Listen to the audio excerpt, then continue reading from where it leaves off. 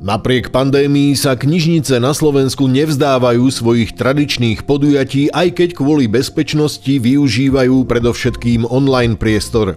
Začiatok marca bude patriť čitateľsky populárnemu týždňu slovenských knižníc, ktorého cieľom je pozitívne zviditeľňovať knižnice ako kultúrne a vzdelávacie inštitúcie. 22. ročník tohto podujatia, ktorého vyhlasovateľom je Slovenská asociácia knižníc a Spolok slovenských knihovníkov a knižníc, sa koná pod spoločným motom Knižnice pre všetkých.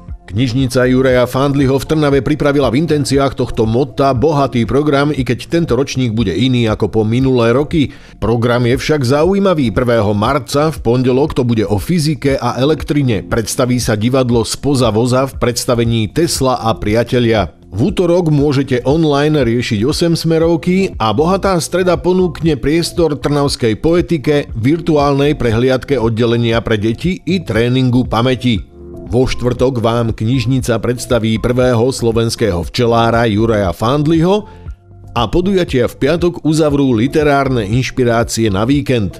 Do balíka online podujatí samozrejme prispejú knižnice po celom Slovensku, takže prvý marcový týždeň bude literárne mimoriadne bohatý.